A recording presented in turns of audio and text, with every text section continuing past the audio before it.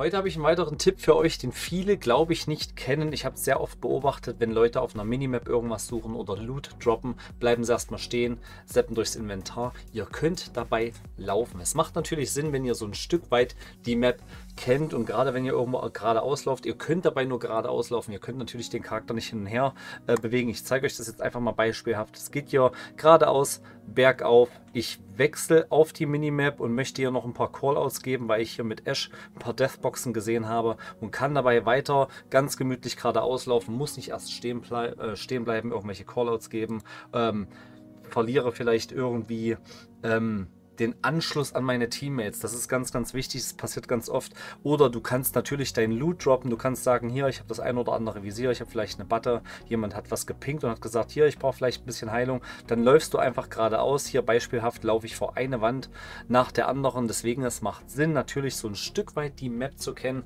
dass du nicht am nächsten Hindernis schon hängen bleibst und die ganze Geschichte nichts bringt. Deswegen, ihr könnt euch bewegen, während ihr Loot droppt, auf der Karte euch orientiert und so weiter. Das sollte natürlich auch hier hier zur Situation passen. Bis zum nächsten Mal, da rein, ciao.